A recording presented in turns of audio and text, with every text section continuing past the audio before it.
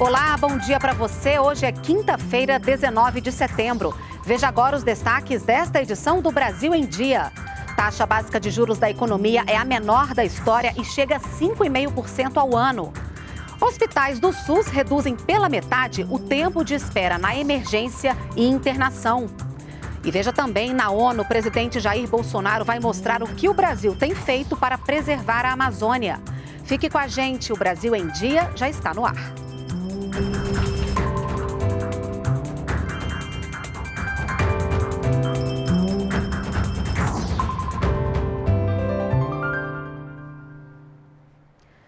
São 9 horas e 45 minutos, estamos ao vivo também pelas redes sociais. O presidente Jair Bolsonaro continua em recuperação e, a pedido médico, reduziu a agenda de trabalho. Vamos direto ao Palácio da Alvorada. A repórter Luciana Colares de Holanda traz as informações sobre a movimentação por lá. Bom dia, Lu.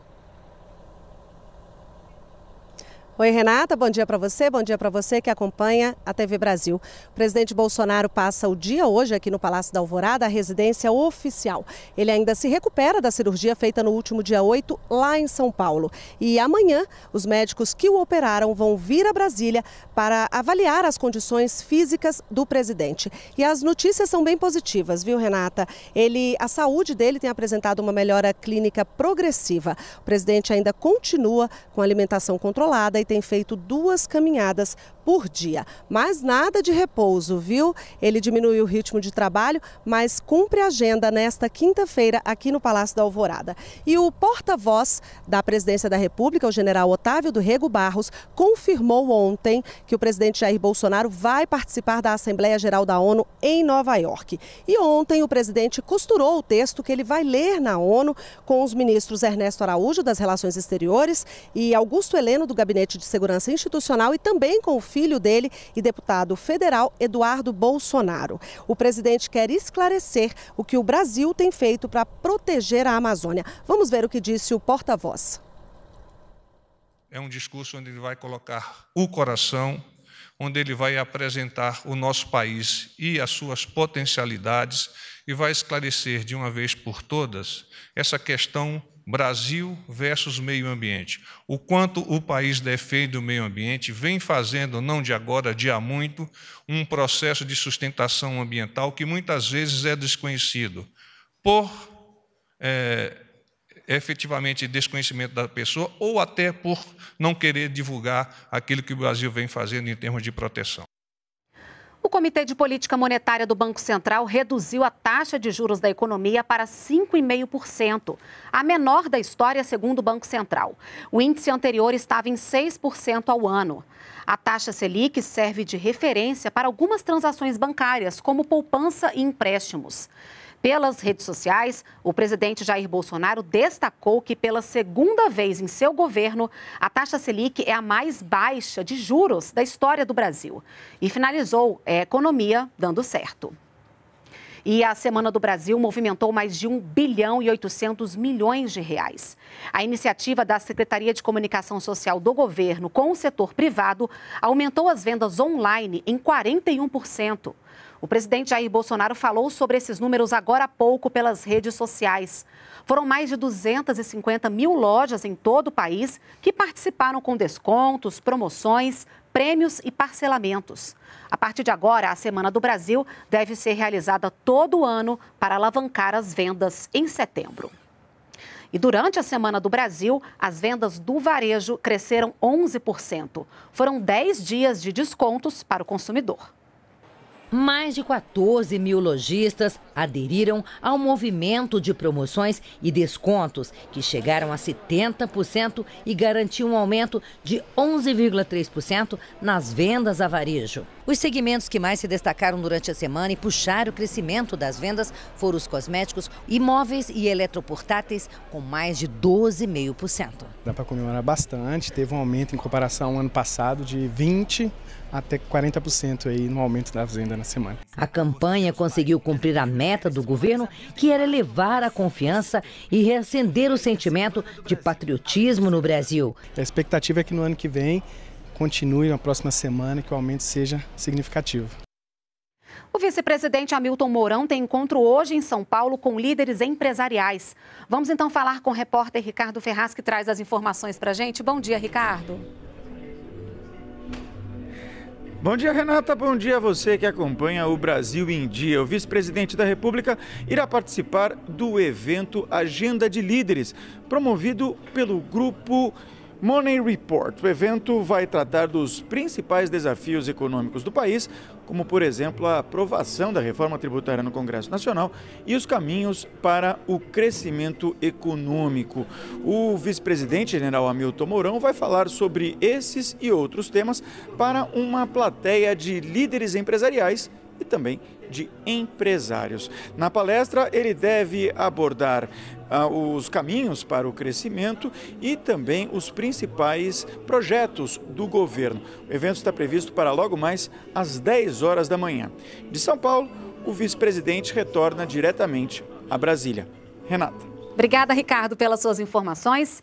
E mais uma ação de combate a queimadas. Militares do Corpo de Bombeiros do Distrito Federal seguem agora de manhã para a região do Pantanal, no Mato Grosso do Sul. Informações com Selma Dias. Bom dia, Selma.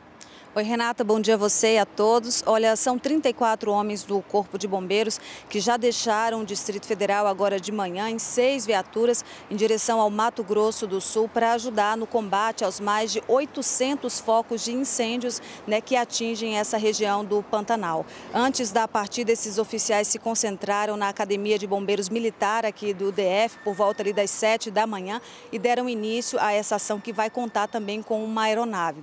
Essa medida é uma ação conjunta entre o governo do Distrito Federal e também a Secretaria Nacional de Proteção e Defesa Civil, que faz parte ali do Ministério do Desenvolvimento Regional, órgão que liberou cerca de 350 mil reais para bancar os custos desta operação. Esses homens que foram enviados lá para o Mato Grosso do Sul não têm data para voltar, eles devem ficar por lá o tempo que for necessário para ajudar no combate a esses incêndios. Renata, volto com você. Obrigada, Selma, pelas suas informações ao vivo. E trabalhadores cadastrados no PIS-PASEP, nascidos em setembro, começam a receber hoje o abono salarial. Vamos ao Rio de Janeiro. Tiago Pimenta traz os detalhes para a gente. Bom dia, Tiago. Oi, Renata, bom dia. A boa notícia é mesmo para os trabalhadores nascidos em setembro e que têm direito ao abono salarial do PIS PASEP. O, no caso do PIS, o Programa de Integração Social, o benefício já pode ser recebido a partir de hoje. E aqueles trabalhadores que têm conta na Caixa Econômica Federal, para esses foi feito um depósito automático na última terça-feira. Os servidores que têm direito ao PASEP, o Programa de Formação do Patrimônio do Servidor Público, vão receber o abono pelo Banco do Brasil. No caso do PASEP, recebem este mês aqueles servidores inscritos com o número com final 2. Tem direito ao PIS-PASEP os trabalhadores cadastrados há pelo menos 5 anos anos e que tenham trabalhado durante o ano de 2018 com carteira assinada por pelo menos 30 dias. É preciso também que a remuneração recebida esteja dentro da média de até dois salários mínimos. Outro requisito importante é estar com os dados corretos na RAJ 2018, a Relação Anual de Informações Sociais, que foi entregue ao governo federal. A gente lembra que os trabalhadores nascidos em setembro podem sacar os abonos até junho do ano que vem. Renata. Obrigada pelas informações, Tiago. A taxa de desemprego no país caiu no segundo trimestre deste ano, de acordo com o Instituto de Pesquisa Econômica Aplicada, o IPEA. A maior queda no desemprego de abril a junho de 2019 foi entre jovens de 18 a 24 anos. O levantamento do IPEA revela que a taxa passou de 26,6% para 25,8%. O estudo mostra que a queda ocorreu por causa da expansão de 1,7% da ocupação nessa faixa etária. Ainda segundo o Instituto, de julho de 2018 até julho deste ano, foram criados 521 mil novos empregos formais. O IPEA avalia que a melhora na atividade econômica no segundo semestre deste ano deve fortalecer o mercado de trabalho emergências menos lotadas e menor tempo de espera para o atendimento e internação. Esse é o saldo de um programa implantado nos hospitais do SUS. São 20 unidades do SUS que participam do projeto para diminuir a superlotação nas emergências. Como resultado das mudanças, as unidades reduziram em quase dois dias o tempo de internação no hospital e em mais de quatro horas a espera no pronto atendimento. De acordo com o Ministério da Saúde, as mudanças garantem não só uma maior oferta de leitos nos hospitais, como a diminuição do desgaste emocional tanto do paciente como da equipe médica. O projeto é uma parceria do Ministério da Saúde com o Hospital Sírio-Libanês e já está na terceira fase. A meta é atender 100 hospitais até 2020. A Petrobras anunciou na noite desta quarta-feira o reajuste dos preços dos combustíveis nas refinarias. A gasolina subiu 3,5% e o diesel 4,2%. Os novos valores começam a valer hoje. O repasse desse aumento aos consumidores depende das distribuidoras. E fiscais da Agência Nacional do Petróleo vão percorrer postos para verificar possíveis aumentos abusivos nos preços dos combustíveis. De acordo com a ANP, quem for flagrado praticando preços acima do normal pode receber multas que chegam a um milhão de reais. Caso você flagre algum aumento abusivo dos combustíveis, pode denunciar pelo site da agência ou ligar para a central da ANP. Estamos na Semana Nacional do Trânsito. O foco este ano são aqueles considerados mais vulneráveis nas ruas: pedestres, ciclistas e motociclistas. Ações integradas querem sensibilizar a sociedade e deixar o trânsito mais seguro. Na mesa, as fotos mostram um passado que Renata guarda com carinho. As boas memórias arrancam sorrisos da pernambucana. Tudo mudou após a morte trágica do filho mais velho.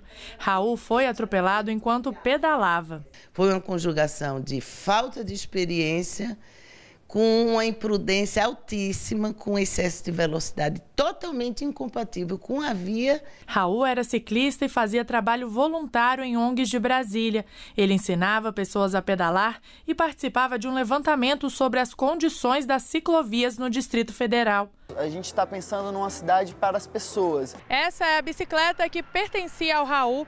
Ela foi afixada neste canteiro em Brasília em homenagem ao estudante. As chamadas Ghost Bikes ou bicicletas fantasmas representam um pedido de paz no trânsito. Elas costumam ser fixadas em locais onde houve acidente para homenagear vítimas como Raul e impedir que a morte seja esquecida. A cada 15 minutos, uma pessoa morre em um acidente de trânsito no Brasil.